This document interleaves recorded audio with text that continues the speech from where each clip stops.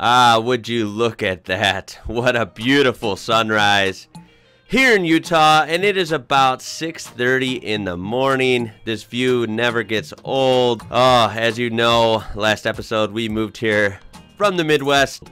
Had to run down to get some coffee to start this early morning because we have an awesome client coming in today. Well, with a pretty special request.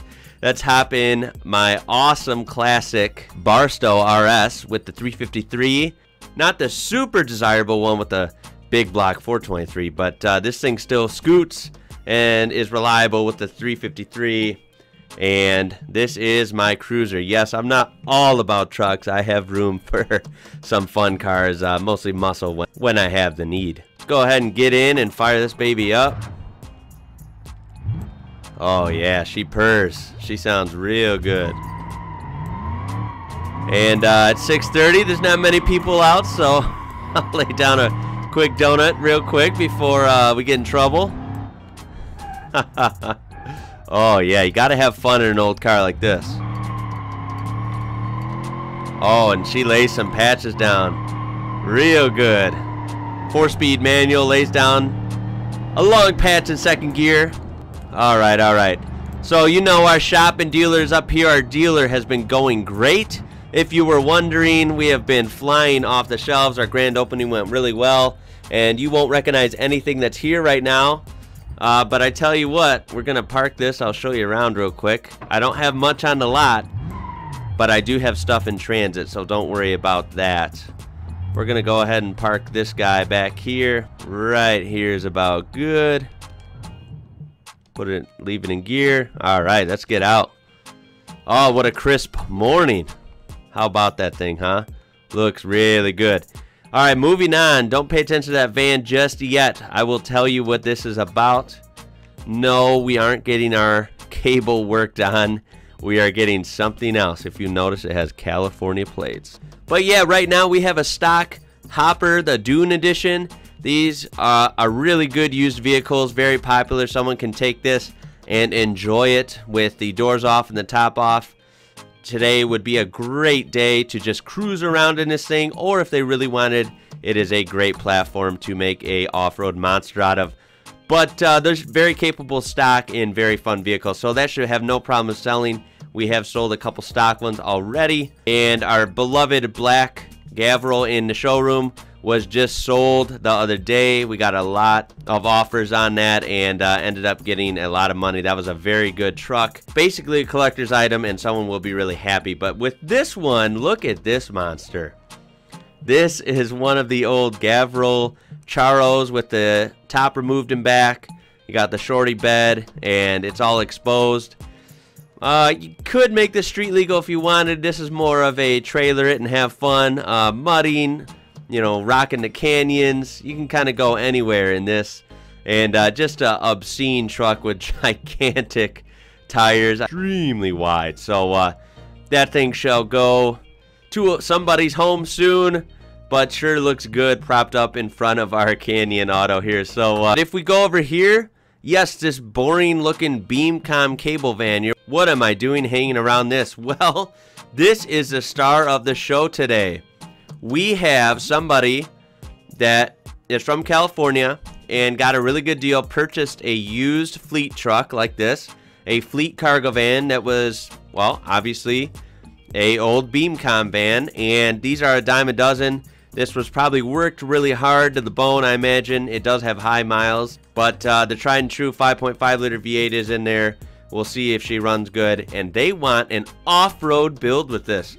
And they told me specifically, leave the paint job. So they want the BeamCom colors, the logo. So uh, they kind of want a little head turner, you know. Most people think, oh, look at that work van. And then they'll think, oh, wait, that's a retired work van. That's totally pimped out for off-roading. So uh, I like the creativity, kind of a funny idea. And hey, they're a paying customer. We'll do it for them. We're going to come up with something really cool you wait and see. The only repair work we'll have to do is right here. The sun's not on this side, but if you'll notice, the door's a little bit dented up, so that's no big deal. There's doors for these everywhere.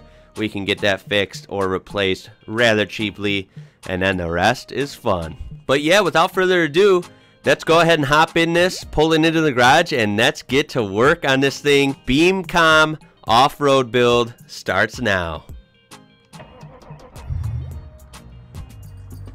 And wow, this has higher miles than I thought. I think we're looking at 214,000. Good God, this is a work van for sure. But these things are very tough and easy to get parts for. So uh, we're going to go ahead and pull it in the garage. And we are going to work some off-road magic at Canyon Auto. Alrighty, so we are here in the shop. Please uh, don't mind the mess. We are doing business in here, man. We're doing work. So one more look at this beam van before we totally transform it. I can tell you right away that those running boards are probably going to go. Uh, our client, I think, is definitely active enough to uh, be able to hop in there without too much issue. Let's look at uh, what we got inside, what we're working with. Oh yeah, these are nice and big inside. Man, maybe we can rig up some some cool kind of overlanding kit in here, you know, have ability to have bedding, some cooking in here, camping gear, maybe some shelving. That'd be really cool. There's so much you can do with these vans. I can see why they're getting popular for various reasons. But uh, let's go ahead and start stripping what we don't need and adding some cool stuff. Okay, so first thing we're to do, we're to add a navigation system. This guy's to kind of go all around and wants to be able to go anywhere.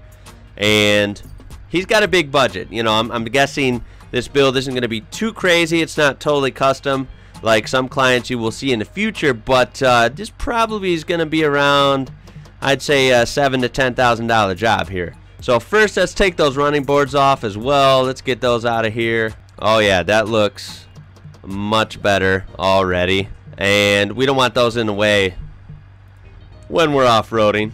And we're definitely gonna give him a vented hood. So what this does is if he's off-roading in the desert and it's getting pretty hot, anything you can do to help let that engine breathe and cool off, uh, you certainly want to do. So this is kind of something we do that's very popular on vehicles that will be used off-road in hot environments. And um, we put go ahead and put some steel mesh behind there so it keeps anything bad out, but it definitely lets some air through and helps keep the engine cool when you need it. And then we're to go ahead and hook this guy up with a heavy duty radiator because you know this is higher miles. I think it will run very well still. And uh, like my point before this is running off-road not going high speed not getting a lot of airflow. You want a good radiator so this thing can keep you happy on the trails and not have to worry about anything uh, annoying like overheating. Tail light guards yes he does want these so we're gonna go ahead and Throw on some black ones. We don't want chrome on a work van like this. black just makes sense. It's more rugged and more off-roady for lack of a better term. And those look pretty good, not gonna lie. Very nice. And we are gonna go ahead and switch this guy's roof rack for a cargo basket. So this is definitely more up the alley of overlanding and off-roading. So yeah, he can put multiple things in there, tie down a lot, and uh, just kind of looks the part. So just these couple things that aren't even anything yet already is making this van look a little more legit. How about that? Let's get into the nitty gritty now. Let's get in some some real good stuff. So yeah, we're gonna definitely change his front bumper out. He wants off-roading. He wants some protection from wildlife. Should he come across something on the road, you want to be protected, and you want some tough bumper up front just in case you do run into some trees or bushes at low speed. You want off all the help you can get.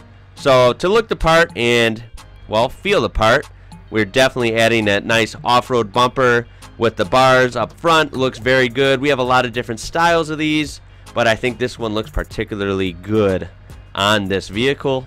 And he is gonna get an antenna as well in case he wants to run CB also, just uh, for the look, whatever he may use it for, we will have that there. And then, of course, in back, might as well make it symmetrical. We got the off-road rear bumper in back, nice iron plating, 3 8 inch thick, so nice and tough. And, of course, we got his plate in the back. Very, very cool. That looks a lot better. He said keep the tow hitch so he can mess with that, take that off, or keep it if he wants. That is not for us to decide. So that looks fine there.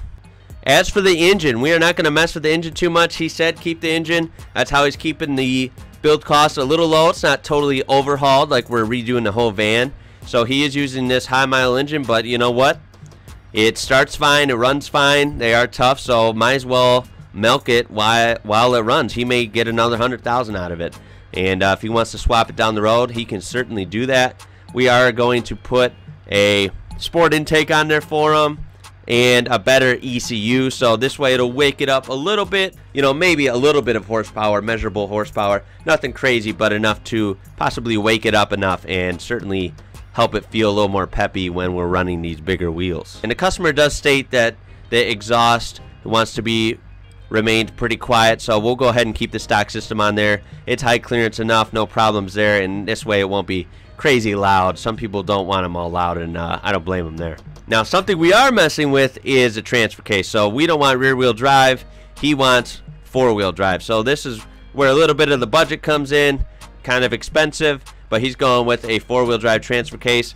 Luckily, these Gavril H Series and the D Series trucks are very interchangeable. They're essentially sister platforms and can be shared. We go ahead and swap in a four-wheel drive transfer case from a Gavril three-quarter ton truck. That fits in there great, bolts right up. Now he has four-wheel drive, and he does want a rear locker. So with the front, he'll be open diff, but we'll go ahead and put that rear locker in there as well and we have a nice heavy duty torque converter for him. We're going to definitely go ahead and put that locking rear diff in there for him. Now he has ability to lock the rear wheels and mo for most off-road excursions that is all you need.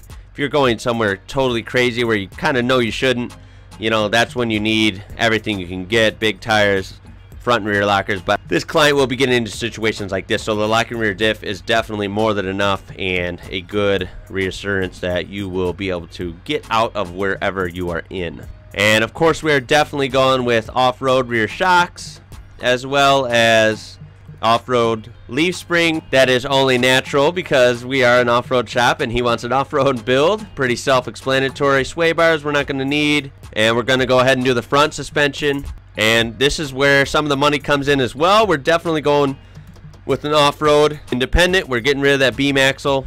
So there we go. And now he has a beefed up in IFS system. And this should work pretty good. This is also from the Gavro Series trucks. And we're definitely throwing in some off-road coilovers and sway bar for them, As some strengthened drive shafts and half shafts. Off-road steering box as well. So this guy is getting a good deal. And yes, of course, power steering. Alright, so there is a look at it so far. No, it is not done yet. But we have overhauled the underneath, that's for sure. So we have put in a four-wheel drive transfer case. And, of course, off-road suspension. Got the nice independent suspension in front, which should ride really well. And definitely play the part that he needs for off-roading. Alrighty, and back to the build. Now is the fun part. So, brakes are going to stay the same. He's not going to do any crazy high-speed maneuvers or anything, so the brakes should be good enough. The brakes are pretty beefy in front. I mean, it is a work truck. It is a work van, and they build them pretty decent. Uh, they're fleet vehicles anyway, so those should be fine. Uh, now to the wheels and tires. So, so our customer did say that he likes the trial brand of wheels, and I think it'd be safe to assume that black would work with this color scheme. So we're, so we're throwing on some 17 by 9 Trial 250 off-road wheels. And then, of course, for tires, well, we have tons of tires in stock. Uh, but we don't want to run too big because, A, we don't have a lot of flexing room, being that the van body is, you know, a little bit on there more than a, a Bishu hopper or even the pickup trucks. There's just not as much flexing room, and uh, he's not going to be going crazy with it. But uh, we want to look good still, so we also don't want to make that engine turn too hard because we're not dealing with super high horsepower here or anything or uh, crazy gearing either. So I think we're going to stick with 35s on this. It should be able to turn those just fine. And we are going to go with Thorn Tracks. Thorn Tracks make some great tires and they perform well. And just look at how that looks. That looks excellent. Looks really, really good. So we're going to go ahead and do that on the fronts as well. Just take a look at this van now. Wow, this is really coming along. We got the vented hood, the awesome bumper in front, and the and these really aggressive wheels. 35s look good on there. They look proportional. So it doesn't look crazy big, but it doesn't look too small either. this these cargo vans are big, so they kind of make 32s or 33s look kind of small. And uh, I think this will be just enough for what he wants. This was not a crazy expensive build, but should perform decent for what it is, and definitely transformed this Beamcom cargo work van into, well, a surprisingly handsome off-road build. Let's go ahead and get in and see how she drives. Alright, and get a look at it outside. You can see the scale a little better out here. This thing looks amazing. I have to say for a what I would call for this shop a mild build, dang does it look good. I actually like it. I'm glad he decided to leave paint job on there. I think that's hilarious. People will definitely double take on the road like, whoa, wait, Beamcom, that thing, what? Where are they installing cable? In the middle of the jungle or what? that thing looks awesome. It's got some good height to it. These vans just have a presence. Like, wow, it's big, you know? Looks really, really good. Let's go ahead and hop in. Make sure everything is nice and straight. Make sure it drives good, has enough power to turn these and uh, make sure there's no issues. So let's hop on up. And yes, we are missing the running boards, like I said earlier. Looks better without them. But boy, is this thing tall. So uh, we'll see what they think when they pick it up. And wow, we are up here. You can tell we are up here when you sit in this thing. But wow, oh wow, does it actually feel good? Oh yeah, not bad at all. I'm not even flooring it at all, giving it about half throttle, and it's moving under its own weight just fine. And we're not going to take turns too fast. We are obviously not carving corners in a van like this. Okay, so let's go ahead and test real quick if 4 low works. I mean, it should. It does. Definitely feels like 4 low should, so that's good to know. And let's go ahead and see if that rear locker works as well. So we're going to go ahead and lock the rear end and, well, just see if it does a burnout with both wheels. And that's a yes, sir. Yes, it does. Awesome. and it can spin those wheels in 4 low, so that's pretty impressive. Glad to know that our power plant, our high mile power plant here, is still in good health. And uh, we're going to go ahead and put it in four-wheel drive and yes, we're going to see if it can climb this. This is uh, pretty hard. So I'm not going to be disappointed if it doesn't, but you never know. Let's see how capable this thing is.